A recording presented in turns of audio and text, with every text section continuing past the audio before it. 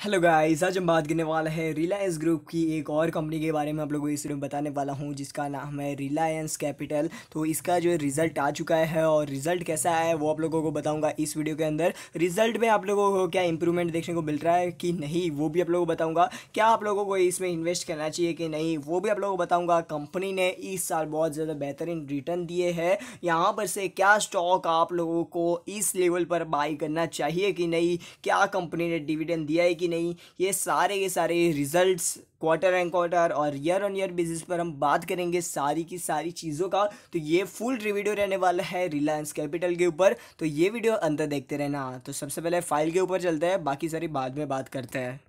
तो यहाँ पर जैसे रिलायंस कैपिटल के ऊपर आ चुके हैं और यहाँ पर आप लोगों को एट्थ में two thousand twenty twenty one का इसका रिज़ल्ट आप लोगों को अनाउंस होते हुए देखने को मिल रहा है। कोई भी यहाँ पर से फ़र्स्ट पेज पर डिविडेंड का अनाउंसमेंट नहीं देखने मिल रहा है और एक्सपेक्ट भी नहीं करना चाहिए इस कंपनी से डिविडेंड तो ये चीज़ तो आप लोगों में सीधी बात कर देता हूँ। तो यहाँ पर से आप लोगों को जो इसका जो ये सारी की सारी जो अमाउंट है, ये सारे का सारा जो यहाँ पर डेटा दिया गया है, वो करोड्स में है और यहाँ पर रिलायंस कैपिटल लिमिटेड आप लोग देख सकते हो। क्वार्टर मार्च क्वार्टर का रिज़ल्ट है, ये चीज़ आप लोग को बता देता हूँ। हम बात करेंगे क्वार्टर एंड क्वार्टर और ईयर ऑन ईयर बेसिस पर कंपनी का रिज़ल्ट आप लोगों को बताऊँगा कि कैसा रहा है।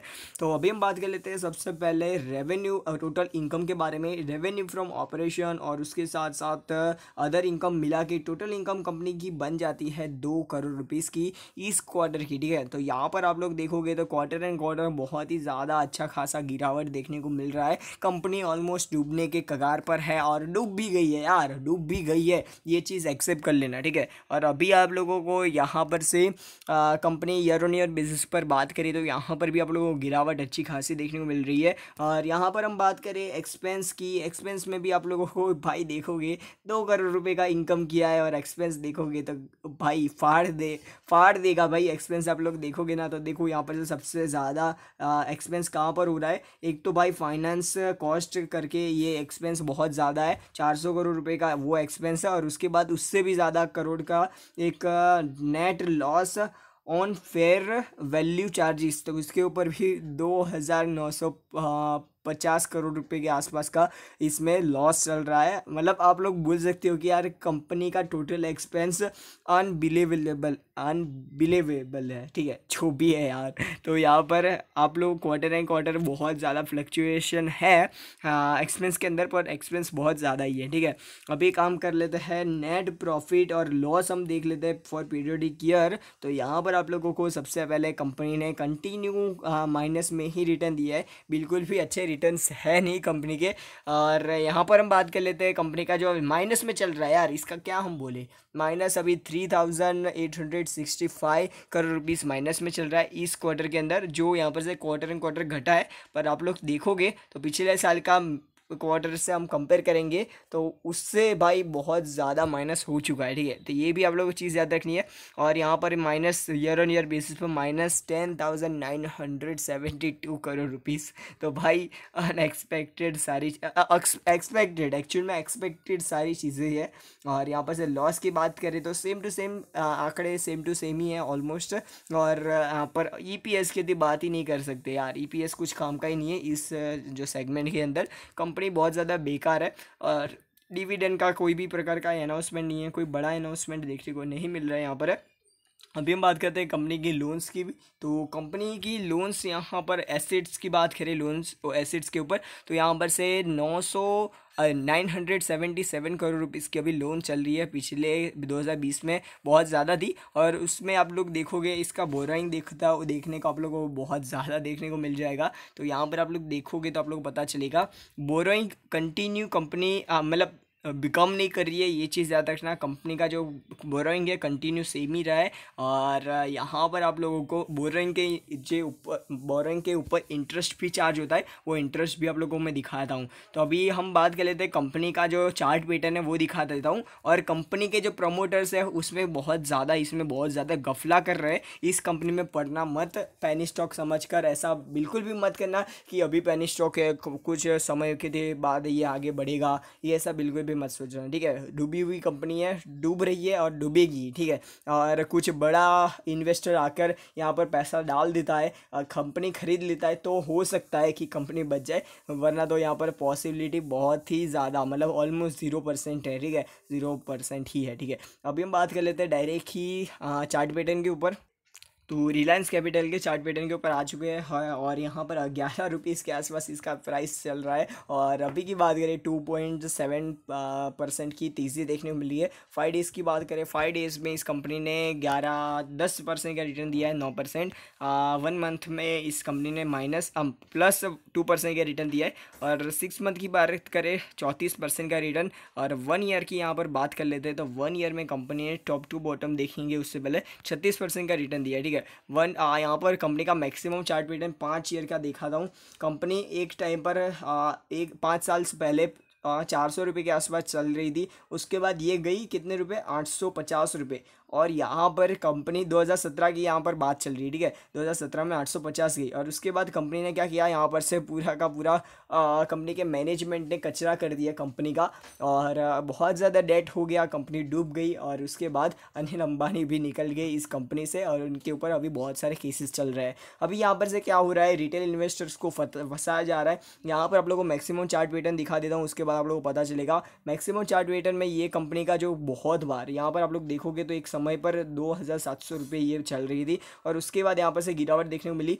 देखो कंपनी स्टार्ट हुई यहाँ पर एस इस टाइम फ्रेम पर कंपनी का एकदम अच्छा परफॉर्मेंस चल रहा था और उसके बाद इस कंपनी में घोटाले चालू हो गए। कंपनी बहुत ज़्यादा कर्ज में आने लगी। तो यहाँ पर आप लोग देखोगे कि तो आप लोगों को बहुत ज़्यादा बड़ी गिरावट देखने को मिल रही है कंपनी के शेयर के नीचे, ऊपर। और उसके बाद यहाँ पर क्या होता है कंपनी के थोड़े थोड़े टाइम के अंदर शेयर्स की जो प्राइस होती है, वो बढ़ाई जाती है ऑपरेटर्स के द्वारा और यहाँ पर से जो रिटेल इन्वेस्टर्स होते हैं, उन लोगों को फंसाया जाता है। एक्चुअल में जो प्राइस थी ना, अभी आप लोग वन ईयर के पहले वन ईयर पहले, फाइव ईयर के पहले आप लोग देखोगे 2020 के अंदर यहाँ पर चार रुपये इसकी प्राइस चल रही थी और अभी ग्यारह रुपये चल रहा है, ठीक है? तो इसका क्या, इसमें क्या होगा, पता है कि यहाँ पर से प्राइस को बहुत ज़्यादा ऊपर लिया जाएगा ऊपर लेने के बाद ऑपरेटर्स इसमें क्या करेंगे? बड़े इन्वेस्टर्स रहते हैं प्रमोटर्स क्या करेंगे? अपने जो पैसे हैं, वो लेकर निकल जाएँगे, अपना स्टेक बेच देंगे। और यहाँ पर फंसेंगे कौन? रिटेल इन्वेस्टर्स इसका मैं प्रूफ भी दिखा देता हूँ। देखो आप लोगों को।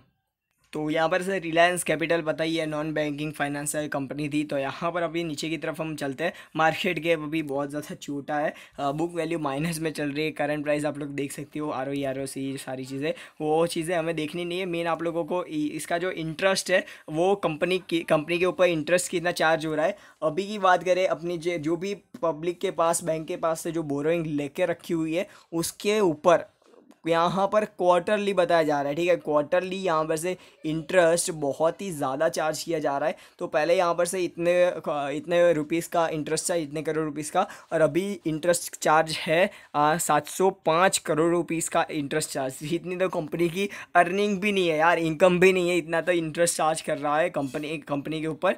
और यहाँ पर हम बात कर लेते हैं कंपनी के बोरोइंग्स के ऊपर। इंटरेस्ट आप लोग ईयर ऑन ईयर बेसिस पर देखोगे तो भी आप लोग को बहुत ही ज़्यादा देखने को मिल जाएगा। तो तो यहाँ पर से इंटरेस्ट भी बहुत ज़्यादा पे करना पड़ रहा है कंपनी को।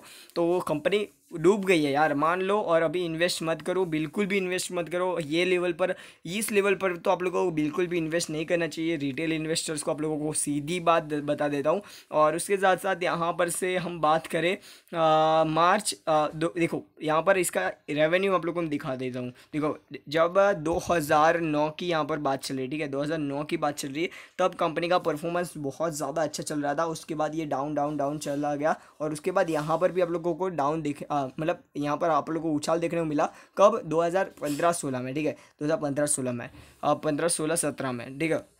तो उसमें आप लोगों को क्यों यहाँ पर अच्छा खासा उछाल देखने को मिला? तो यहाँ पर कंपनी के ऊपर जो जो एक्सपेंस मतलब आप लोग बोल सकते हो कंपनी का सेल्स बहुत अच्छी तरीके से ग्रोथ हुआ था, इसी की वजह से, ठीक है? तो वो तो चलो मान लेते हैं कि यार चलो कंपनी का अच्छा परफॉर्मेंस था और उसके बाद अचानक से इतना ज़्यादा करोड़ रुपए का लॉस तो उसके बाद जो सारे के सारे इंटरेस्ट और वो सारी चीज़ों का जो टाइम आता है बोरोइंग्स भरनी पड़ती है लोन्स भरनी पड़ती है तो उसका टाइम आने के बाद यहाँ पर से कंपनी डूब गई और कंपनी का प्राइस एकदम से नीचे गिरने लगा। और यहाँ पर से 2018 के बाद इसकी कंपनी की सिचुएशन की शेयर शेयर होल्डिंग पैटर्न की ऊपर से आप लोग सब देख लो। देखो 2018 में इसकी, इन लोगों के पास शेयर होल्डिंग पैटर्न आप लोग देख सकते हो, बहुत ज़्यादा थी। और उसके बाद कम करते करते करते 2000 मार्च 2020 की बात चल रही है यहाँ पर से। इसकी भी सिचुएशन आप लोगों को दिखाता हूँ। मार्च तैंतीस परसेंट से डायरेक्टली इन लोगों ने कितने परसेंट कर दिए? One point five percent promoters निकल गए। और यहाँ पर कौन अभी बैठा हुआ है? डीआईएस वाले भी भी निकल रहे धीरे धीरे करके, वो भी निकल जाएँगे। और उसके साथ साथ एफ़ वाले भी निकल गए हैं ऑलमोस्ट और यहाँ पर हम बात करें मेन तो देखो मेन डीआईएस वाले भी देखो निकल रहे हैं, यहाँ पर आप लोग अभी देखोगे तो। तो देखो, यहाँ पर आप लोगों को मेन सबसे पहला था, जो कंपनी पहले कितना स्टेक था? बीस परसेंट का पब्लिक का, और अभी नाइन्टी फोर परसेंट स्टेक है पब्लिक का, ठीक है? तो ये चीज़ आप लोगों को ध्यान में रखनी है। कंपनी पूरी पूरी डूब गई है, कम, यहाँ पर क्या हो रहा है पता है? ज़्यादा प्राइस के ऊपर, यहाँ पर क्या होता है? रिटेल इन्वेस्टर कब अट्रैक्ट होते हैं कोई भी शेयर के ऊपर? बीस परसेंट, दस परसेंट की सर्किट मारना चालू कर देता ना तो रिटर्न इन्वेस्टर अट्रैक्ट होने चल, चालू हो जाते हैं। तो वो क्या करते हैं? हर रोज़ सुबह उठकर वो प्राइस लगाकर बैठ जाते हैं। और यहाँ पर से क्या होता है? अपर सर्किट पर यहाँ पर शेयर पहुँच गया। पहले यहाँ पर था और उसके बाद यहाँ पर शेयर पहुँच गया। उसके बाद यहाँ पर बड़े इन्वेस्टर्स होते हैं, वो पैसा निकाल कर डंप करके निकल जाएँगे और शेयर की प्राइस डायरेक्टली यहाँ पर आ जाएगी। तो ये चीज़ें आप लोगों को ध्यान में रखना है। बस आप लोगों को मेरे को और कुछ बताना नहीं है। कंपनी में इन्वेस्ट मत करना यार। प्लीज़ आप लोगों के पैसे मेहनत के पैसे है। इसलिए मैं बोल रहा हूँ, ठीक है? तो बस गुड बाय गुड बाय फिर मिलता नेक्स्ट वीडियो में। गुड बाय कोई भी दिक्कत हो मेरे को कमेंट सेक्शन में ज़रूर से बताना। Good bye